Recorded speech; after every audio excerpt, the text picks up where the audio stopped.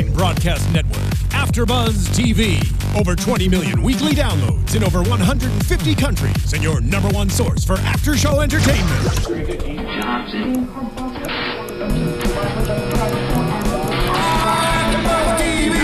AfterBuzz TV, the destination for TV superfans, producing aftershows for over 300 of your favorite TV shows, interviewing celebrities and showrunners, and bringing you behind-the-scenes exclusives. All thanks to E Entertainment's Maria Menounos, producer Kevin Undergaro, and internet leader Akamai.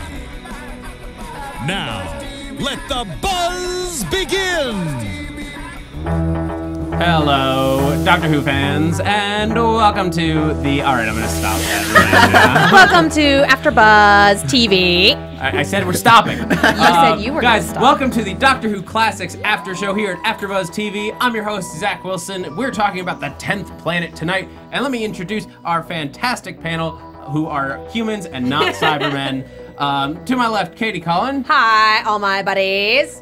No more. I'm saying no more. Put down. I can do this all Put down. night. Next to her, the fantastic Megan Salinas. Hey everybody. And Tauri Miller. Hey, hey. I gave only one person a superlative this time for some reason. We're not good enough for them. I appreciate it. Thank you. You guys left me hanging. You should have done the voice. Nope. His foot went down. the clown is down. No means no. Just saying. Um, so, big episode, a monumental episode for multiple reasons. The origin story of one of our biggest villains, and the. Uh, some people would say not the first regeneration story, but just when the first regeneration occurs. Uh, because we only see it for about five seconds. Yeah. Yeah. right at the end. Um, so what did well I mean first reactions what do you guys think of the Cybermen of 1966? oh my gosh. Well, I'm gonna preface this by saying the Cybermen are my favorite, you know, villains in in New Who. Okay. Uh, I, I absolutely loved that that whole you know parallel universe uh, two parter that we got introduced, well, reintroduced to them with David Tennant. But oh my gosh. Even just looking at the DVD cover art with, that has them, like the first thing you notice is they have a giant spotlight over their crotch. I mean, granted, Yep. granted, this this was the '60s, and granted, they they you know they did what they could with costuming and things like that. But man, do they look ridiculous! I mean, I will say that compared like on the DVD cover art, it looks even more ridiculous than it does on screen. yeah. That's, Um, 'cause but they- not by much. But they are creepy. That's the thing is they are scary. And when you, I think when you get into like what they are in this episode, like they're not the fully robotic versions that we that we know. Yeah. Um, but they they're human. They're humans who fell into a different path. At the end of the day, that's what they say. So I mean, they show up. The the, the little miniature ship like lands in the snow. Um, the doctor and uh, our new our new companions who we never we didn't get a chance to meet because we're get we wanted to get to this episode. Uh, our current companions are Ben and Polly, um, and we'll talk about them in a little bit. But the they landed at this Arctic base. Um, it's like sort of a military base. in the '80s. Yeah, it's Yeah. 1986, so it's 20 years in the future for them. Um, which is a, it's that's an interesting conscious choice to make it within reach. It's like that's not that far away. Um, and I think they wanted to do that because they were they were talking about like space travel and uh, there's some war stuff going on in there. The way that the world functions, I think, was a probably more of a political commentary than we can kind of see by watching it Well, in and 2014. you don't expect your show to be around for 20 years. You know, the Yeah. the longest shows last. You know, unless you're a soap opera, is usually like five years, maybe ten Yeah. years if you're lucky. Um, We kind of are a soap opera. All the people falling in love and coming back and leaving and evil robotic doubles and we keep replacing the actors. I mean, let's be real. We're kind of a soap opera here. No one's in a coma Just though. better dubbing.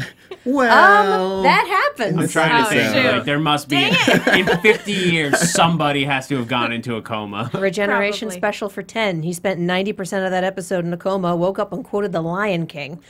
Uh, it doesn't count if it's That only one doesn't episode. count. Yeah. Ah, You have to have be gone be- I'm gonna for a yes. season. Yeah, you have to be in a coma for an extended coma. amount of time. Um, but it's uh, we open up. I mean, well, let's just talk about it real briefly. Let's talk about our companions. Um, ben and Polly are current ones, and they they're People. they seem good. Yeah, we didn't really get a chance to meet them and know them, but they're not bad by any means. We just uh, we don't have a connection with them because we had to like move forward. Right. Um, for anyone who's curious, uh, I uh, the our the last episode that we watched was Steven and Vicki were our companions at the time. Steven said goodbye. Uh, so, spoilers if you were going to go back and watch these, but Steven says goodbye in an episode called The Savages um, to help uh, these group called the Elders, and there's another uh, negotiate their differences. He's like going to be a peace mediator. Uh, Steven is? yep. He grew a lot. All right. I would hope so. He gets to talk to people. Yay!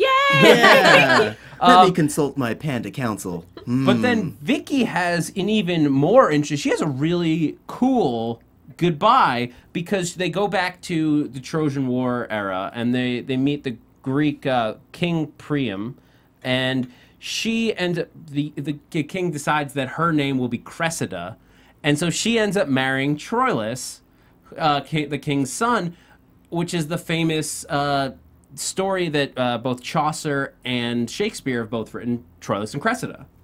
So she gets to be a huge part of history. this girl from the 25th She- century. She's a legend now. That's really cool. Shakespeare wrote about her. And then he met the doctor, so it got real confusing. um, I, oh, now I need to go back and watch the Shakespeare Code to 'Cause see if they to see make if that came they up. drop reference to that. That Could would be. be. really funny. It's just like, oh, this one that you're working on. Yeah, no, she wasn't really like that.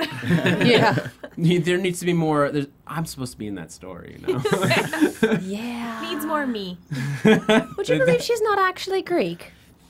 No, she's from the 25th century. I don't even know where she's from. But Um, Ben and Polly, we haven't seen much of them, so they just kind of fall into generic companion roles. Ben is the adult male companion, and so he says things and makes mistakes and does actiony stuff. And Polly is the adult female companion, so she has emotions and also says things and also makes mistakes. Accurate that- description. Uh, and then that's pretty much it. We don't get a lot of these are my motivations. These are how I feel. It's like, pff, you know, these people. Let's keep going. But it's also this is don't. a this is a big story, and I think that they are very focused at this point in the doctor and what's going on and telling this like very interesting story that this could have been like what I liked about this episode is that you could have taken the doctor and like the Doctor Who mythology out of it and just told this as a science fiction story. They kind of did halfway through the third episode. Well, at this point, and a, and a lot of real. a lot of episodes at the time, uh, well, basically what William Hartnell is going through a lot of health issues. He's having a lot of memory problems, having trouble remembering his lines. He's stashing his like li- his scripts in like different places around the TARDIS, around the set, and like anywhere he can put them so that he can do it because they everybody loves him. He's the Doctor. And it's not until they come up with the regeneration plot line that they can figure out how to continue the show without him. Um, if you if you're if you, anyone's curious to see to know more about that, I highly recommend uh, the BBC TV movie. Um, An adventure in Inve- space and time. Thank you. Yes, it's a fantastic uh, biopic about William Hartnell and the creation of Doctor Who. I ha- check it out. Um, it's very interesting, and it leads right up until this episode and the regeneration.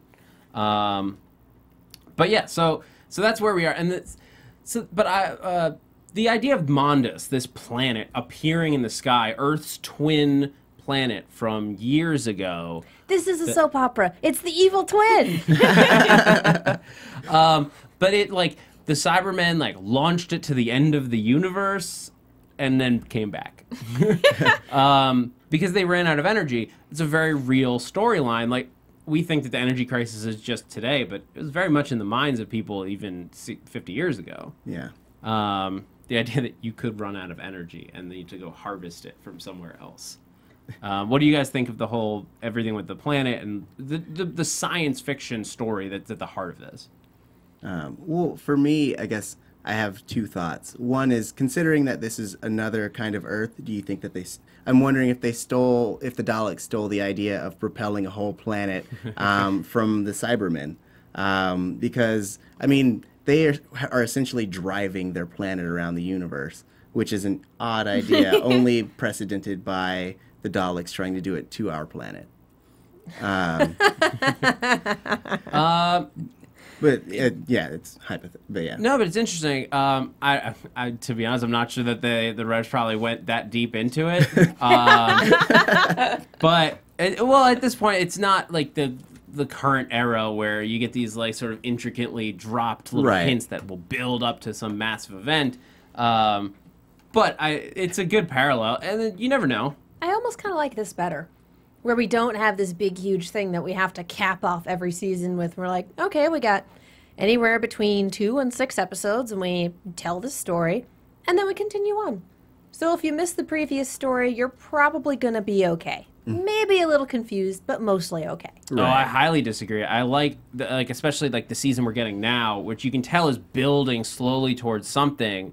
But e- and each episode is fun on its own. But like that intricate woven thread makes it, the whole story real. Because and it also makes our characters more real because they're going on a journey as opposed to just like "Eh, we're going on an adventure today. Well, the difference is that I don't like Moffat. All right. Well, we're not going to get into that. here. anyway. Moffat And every Who. commenter goes, What? We're not getting started on this debate. Um, Throw down yeah. a smoke bomb and leave the panel. Um, Good night. But uh, I like the Cybermen's design and like their backstory. What what I think is very different between, and I'm curious what you guys how, if you guys feel similar between these Cybermen and our Cybermen is that these are not hundred percent villainous. they were relatively polite. Like, I mean, obviously they're shooting people and things like that, but in their minds, they kind of don't know any better because they, they don't feel emotion and everything like mm-hmm. that. And it's less, you know, we're going to conquer and upgrade the universe and more of like, we're, we're, you know, depriving your planet of energy, we'll take you to our planet and you'll become like us. And to somebody who doesn't feel emotion, you know, obviously you're not going to see all the moral issues with that. But they could just as easily just kill everyone on the planet and they choose not to. Like that's kind of their big plan is to is to make humanity like they've become. Well, I'd imagine they're more neutral than evil as far as alignments go. So it's like this this is the most logical choice. I mean, we can't let our planet die for reasons, but uh, we can murder the hell out of your planet and then make you like us so you can live on our planet. So we all get to live and everyone's happy, right? In right? fairness, wouldn't Happy humanity? as a Cyberman can be. Yeah. okay, not happy. Everyone continues to function.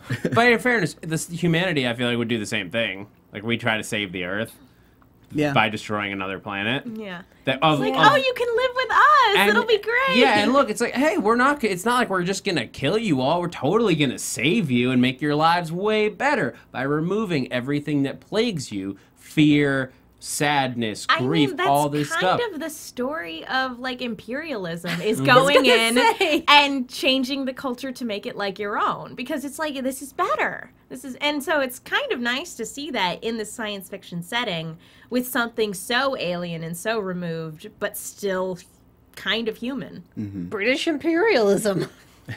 Well, American too yeah.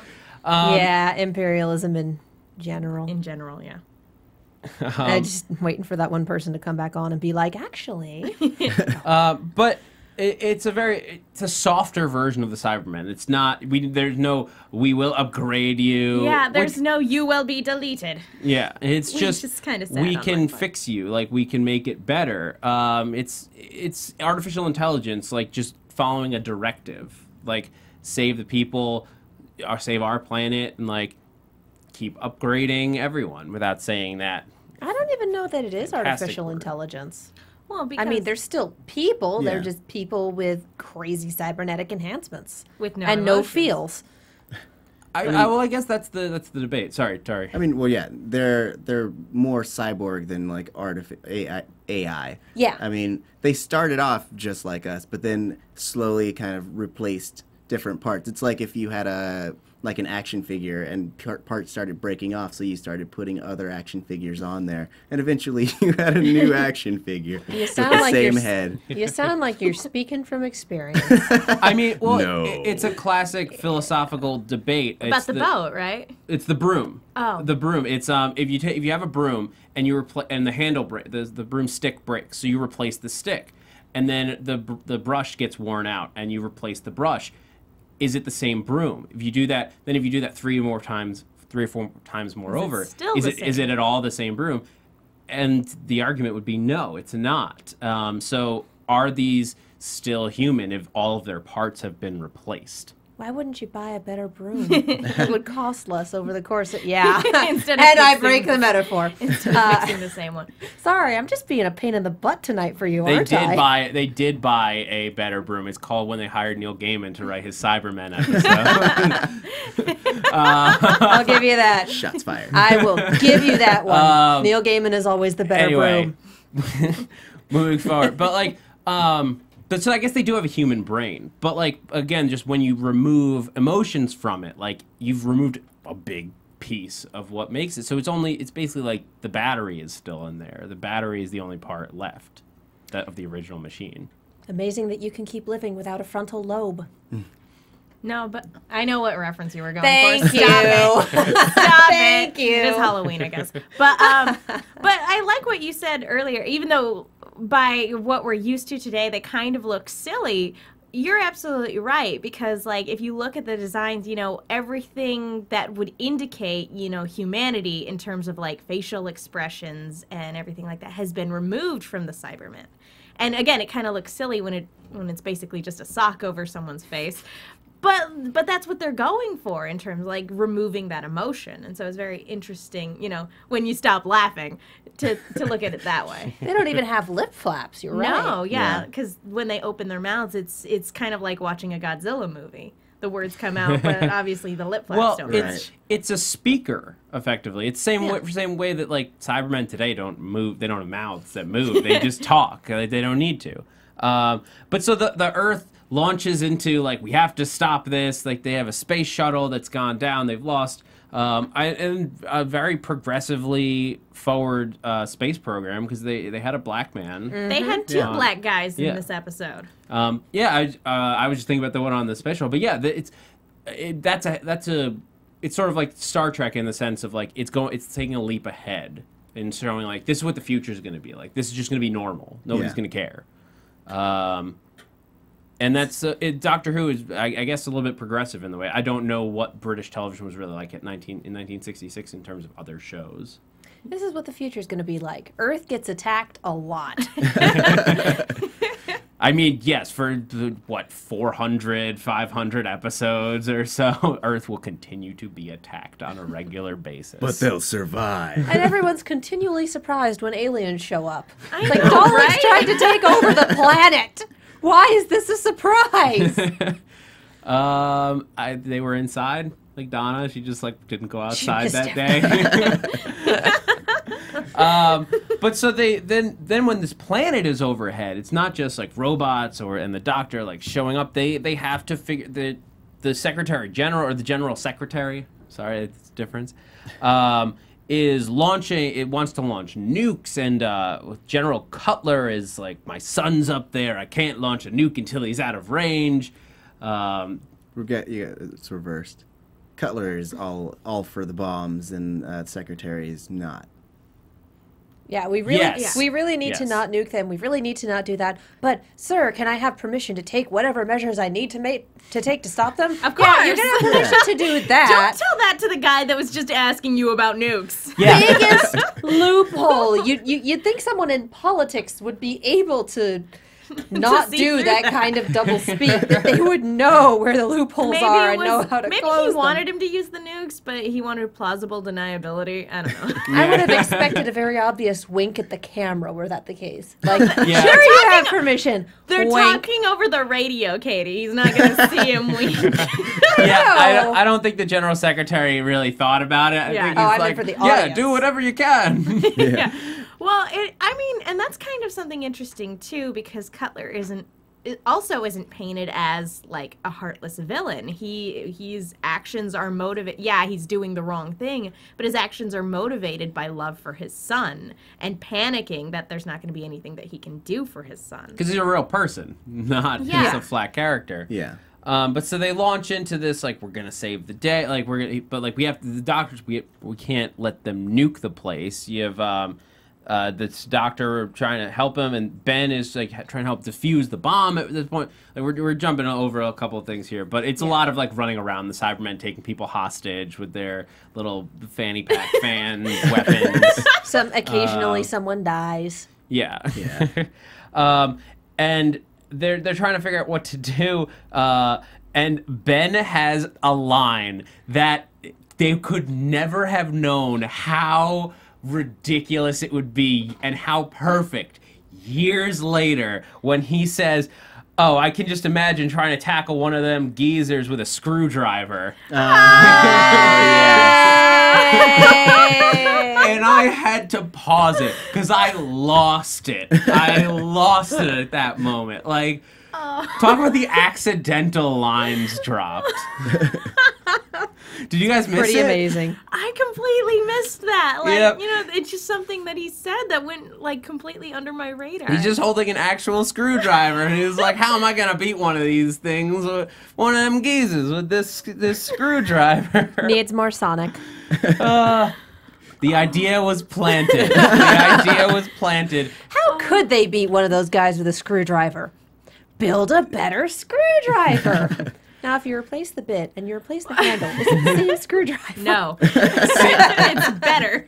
If you add a little more Sonic, is it the same? No, it's a different. It's the. It's a different uh, screwdriver, but the same programming. Ah. it didn't have programming before; it was manual. Now, um, Says you. When when do we when do we have? Megan, go I, I want to know when when did they introduce the sonic screwdriver? I want to say that was like four or five. I was it three? It's as early as three. Yeah. It might be earlier. I'm not sure, but I- I, know they had it by the time three rolled around. I know it. I, I'm fairly certain it wasn't in two. It wasn't two. Um, I don't know. I have to do some. Re- I'll have to. look into Commenters? That. well, us yeah. know. Let us uh, remind us when the first sonic screwdriver shows up because we definitely want to go do that episode. It should be fun. Yeah. Okay, so, so apparently the sonic screwdriver was first introduced in 1968. Oh, Okay, two- so it I is guess it was number two. two. So Yeah. I am totally wrong. Thank you, Booth Girl. Uh, thank you, Booth Girl Marissa. Marissa. Um, that's the power of the internet, you guys. Yay! that they didn't have in 1966. they had to like wait for the Doctor Who magazines to come in the mail. The something. more you know. Any, yeah. uh, anyway, so they're, they're trying to dismantle the bomb, and at this point, we're moving into the the final episode, which is a famously one of the biggest lost episodes, and we're about to enter an era where tons of stuff. We have to skip all of next season of this show Yeah. because none of the episodes are complete. I think almost every episode in that season, like not even just the stories, almost every episode is missing. That's Interesting. Wow. depressing. Yeah. That is genuinely depressing. Yeah. That's why that Um, April Fool's story about how a satellite was reflecting back broadcasts of la- of lost Doctor Who episodes was such a big deal. Yeah, I totally fell for that. A- a lot of I people- talked a about lot it of on people fell AfterBuzz. for it. I did not see this story. It was an April Fool's thing, but it went around the internet about a year and a half after it was published, so it wasn't on April Fool's, and no one checked the date. So everyone thought we were getting all these lost episodes back, and we were all like, excited. and then it was like, no. look at the date on that I one. I mean, you never know. One day they keep finding them in like vaults in Zimbabwe. Uh, and people's attics and auctions. I'm still holding out for the Ark of the Covenant theory, where it's just in that warehouse. um, or the BBC's like, yes, make them wait and beg for it. Um, the Illuminati have the BBC informa- Illuminati. The BBC Illuminati have information in these episodes that can't be released to the public. If Secret Disney symbols. can have a vault, so can we. With everybody the Illuminati like, twiddling puts me their on their fingers list. together, I'm just picturing like excellent. I kind of do the Gendo Ikari thing, just brace the fingers and glare menacingly over You them. need s- you need glasses for that. I do need glasses for that, Tauri. Can I? Vo- no. um, but but uh, if you guys, if anybody, we had the chance to watch it on this uh, on the DVD, the most recent release of it, and they did a fantastic job. If you guys haven't had a chance to take a look, if you watch, they had the VHS recovery episode, which has stills effectively just throughout the episode of like this is what's happening, and then occasionally like a little text will scroll by and be like, this is what's because the audio is complete. It's a little bad quality here and there, uh, but they painstakingly went in and reconstructed it with this amazing animation. Yeah. which I don't know if you I don't know if you noticed this when when watching it, and I, I definitely don't know if this is a thing um, because I haven't checked the names and everything like that. But while we were watching it, it was very reminiscent of a fan animation that like was on YouTube years and years ago. You know, quote unquote Doctor Who anime, um, and it was actually pretty spectacular. I think the YouTube user's name was like Great Ota King or something like that. And I was wondering, I was like, well, what came out first? Did that person do their fan animations based on the style of animation from this DVD or or like did they actually see this guy's stuff and were they like oh we want to get him to work on this because I, I don't know the guy's name unfortunately but um Well, the copyright on the DVD is 2013. Well, uh, yeah, I mean, this was this was just on last year, the animation, Yeah. but like, doc, I mean, they So doc- they Then might have hired that. they person. might have They hired might the have. That'd person be because awesome. it's like spot on that particular style Yeah. the the Doctor Doctor Who does have a history of like really respecting their fans. The um the current the season eight intro sequence was originally created by a fan, and they Yeah. they sort of uh, uh, like pay, brought him in. I'm sure they paid him something, um and uh, I'm sure retouched it, redid a couple things, but more or less it's just what he put online as like a fan. Like this is fun. yeah. Well, I, I hope that's the case. And granted, you know, I could be completely wrong on that, but like watching it, I was like, I've seen this style of animation before with Doctor Who. So I hope that's exactly what happens. They just picked him up and they're like, "You, we like we like the cut of your jib. Do more of that. Come work for us." Yeah. Uh, Do the whole thing yourself. And Which like that's why it took until were more- 2013. There were more animators on this. Oh, I know. I know. Um, but so the at this point, like, the, but what do you guys think? Just bottom line of the animation, you have fun with it? I mean, I I loved it actually. I I kind of part of me wishes the whole ep- the whole story was animated, just because it added a whole nother element to it. Like especially the laser blasts and like the smoke, and at the end when they all uh, power down and you get to see them like fizzle into nothing, as Yeah. opposed to like if there were people in there, you just see them on the floor writhing. So I felt like it it really added a new depth to it. I agree. Apart from the sense of deja vu that I was feeling, like I was more visually engaged with that particular episode than I have been f- throughout all of Classic Who so far. Um, I, I couldn't take my eyes away from it. Well, I think part of that is our generation, at least, grew up on animation, where the Disney generation, we know all this stuff. So even if it's animation in black and white, it's going to have our attention a lot quicker than live action in black and white because animation in black and white is artsy and live action in black and white is old. Or Sin City. Sin City had color Um, involved. But at, I mean, at this point, like we're we're getting closer and closer to the to the doc, the end of the Doctor. Um, he of, of our first Doctor, uh, General Cutler, is like threatening to kill the Doctor. He's like, "I'll kill you for defy, uh, defying me." Um, And, then- falling over on my floor. yeah. How but dare then- you but fall then the on my floor? then the Cybermen kill Cutler. Yeah. Yeah. Yeah. Which again, I felt kind of bad for him. Like I couldn't condone his actions, but you feel kind of bad for him because he was trying to save his son, as misguided as he was. He was gonna well, he was he was gonna launch a nuke at Mondas, which was gonna just blow up and was gonna end up basically It would have killed raining everybody. Yeah. nuclear Yeah. radiation over the entire planet. Right. I Um, felt worse for Cutler's son because he's gonna come back around and be like, "So, where's Dad, and he didn't know he was talking to his dad.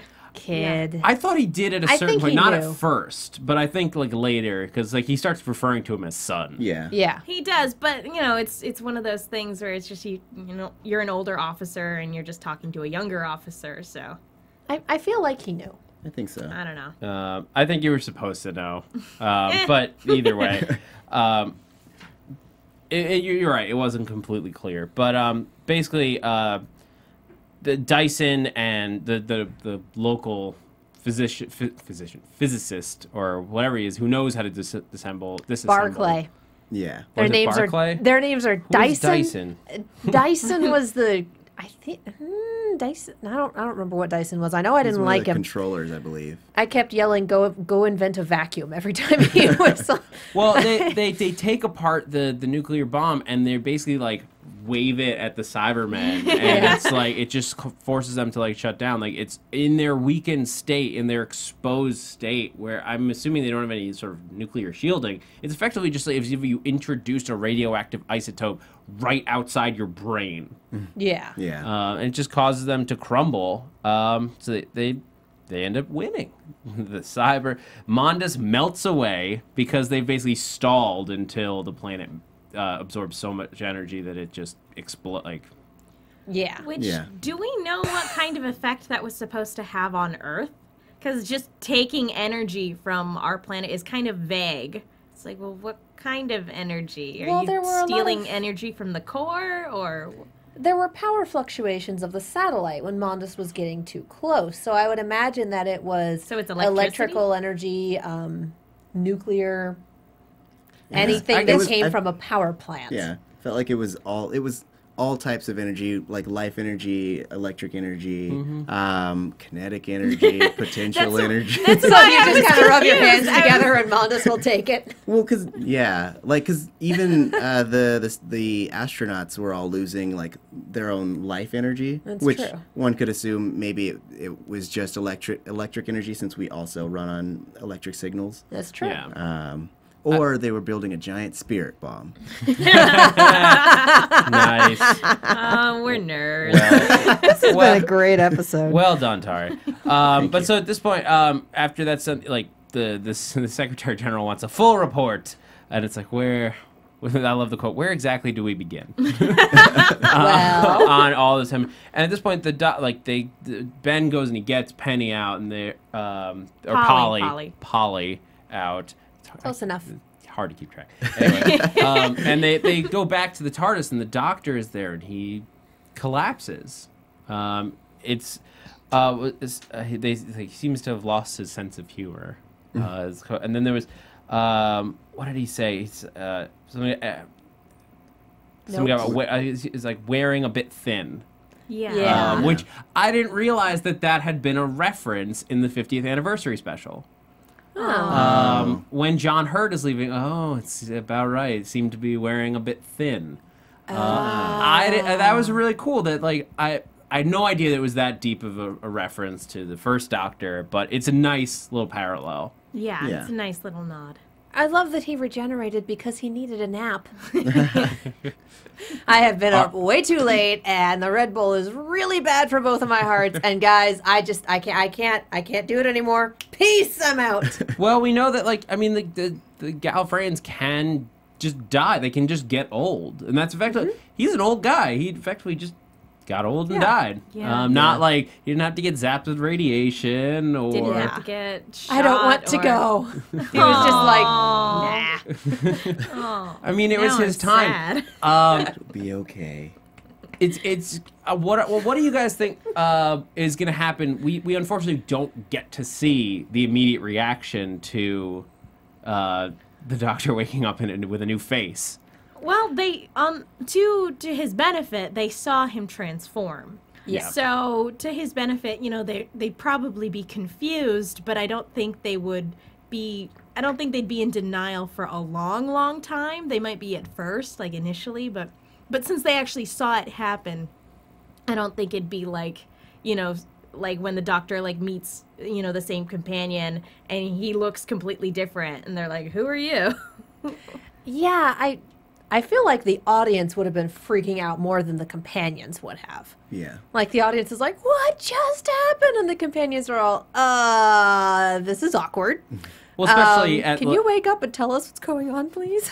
well, especially it's a kids show, and like for all you can tell, like that, who knows what that dissolve means at the time? You have no frame. of- Like we know what we're going into. Yeah. But I can only imagine 1966, like a fan of the show, a kid watching the show, seeing like the doctor, the doctor falling collapse. over, collapse, and then like all they see is this dissolve to another person's face. They're like, "What does that mean, what is happening? Mom?" Parents watching this with their kids going, "Oh no, am I going to have to explain death to the What? Well, I mean, there's What already a lot of Timmy, death. I have no Yeah. idea. It- there's already a lot of death, but it's different when it's the the hero of the show. Yeah. Right. Yeah. Um, but so that's the, I mean that takes us to the end of William Hartnell. Um, what do you guys? What do you guys have any other thoughts on this episode? On Hartnell's run as a whole, as of what we've seen? It was fun. The the pacing was always what got me. Just story to story, it was always a little slow to begin with every story, but as far as characters go, he was hilarious. Yeah, but we're He was we're, blast. we're watching four to six episodes at a time. Yeah, that too. Um, if you're watching 24 minutes a week, like just a half hour show, it's a lot. It's a lot. I think it moves a lot faster. It's a lot more intriguing. Like we could, I could just imagine like the equivalent of like AfterBuzz TV in like the 1960s with predictions every week. I think What the are- monk is gonna be really important. Nah. that. Why are you a monster? Because that's what they sounded like back then. Leave me Everyone alone. sounded like mobsters. Yes. You're not a very British mobster, are you? Yeah. No. Cup No, I don't think you are. It's like turning to. What do you guys think of these crazy Cybermen? I don't know. They I don't probably won't be around Yeah. for very They long. They have lamps on their heads, and they kill people with them. With the lamps. But yeah, I'm gonna don't- drop the accent before someone hurts me. Yeah, please do. the commenters are gonna be like, "What?" I don't see the Cybermen sticking around for very long. Um, but yeah, it, so it, I I really liked Hartnell's Doctor uh, I, more so than I thought I was going to. Admittedly, um, I didn't know what to expect in terms of like the pace, in terms of like the portrayal. But it, you can easily see why this show stuck around for so long. Yeah. Yeah. Yeah. And you can easily see like why even without William Hartnell they wanted to keep it going because it is his performance is very endearing. But the character had become bigger than the actor, you know, and the stories and adventures that this character would go through. It mm-hmm. meant a lot to people. And so it's sad, you know, it was sad to see him go, but like it's kind of cool knowing that, you know, you're a part of something bigger than yourself. Yeah. Yeah. No, it's Yeah. it's, it's good. So uh, with that, I think we're gonna wrap up this uh, episode of AfterBuzz TV Doctor Who Classics, guys. Uh, I forgot to do it during the show, but please jump onto iTunes if you get a chance. It means a lot to just go on there, hit the subscribe button, hit us with a rating. It helps everyone here at the network, not just this show, not just the main Doctor Who show, but every show. It helps raise our presence on iTunes. It helps uh, sponsors find us. It helps guests find us for all the different shows. Getting guests for classics very difficult, uh, as the show aired 50 years ago. Um, Yeah. But please keep tuning in, subscribe, rate. Uh, thank you, Tauri Miller. Where can the people find you? You can find me on Twitter at Tauri J. That's T A U R I J A Y. You can also find me on the 100 season two uh, after panel tonight at uh, 11 o'clock. Yes. ah. Thanks, And Liz. I, I'm Megan. You can follow me on Twitter at the Menguin. That's T H E M E N G U I N. And I'm also on a bunch of shows here at AfterBuzz. I'm Katie Cullen. You can find me on Twitter and Tumblr at Kiaxet. That's K I A X E T. I'm also on Arrow later tonight and Ruby tomorrow. Yeah. Yeah. And you guys catch me on Twitter at that Zach Wilson, and also here at AfterBuzz, tons of shows. Grimm comes back Sunday, so excited. Uh, Resurrection 2, uh, Doctor Who, uh, this show, uh, Agents of Shield, Sleepy Hollow, so much fun stuff. Tune in. I'm Zach Wilson, and thanks for geeking out with us. From executive producers Maria Menounos, Kevin Undergaro, Phil Svitek, and the entire AfterBuzz TV staff, we would like to thank you for listening to the AfterBuzz TV network. To watch or listen to other after shows and post comments or questions, be sure to visit AfterBuzzTV.com. I'm Sir Richard Wentworth, and this has been a presentation of AfterBuzz TV. See you later. The views expressed herein are those of the hosts only and do not necessarily reflect the views of AfterBuzz TV or its owners or principals.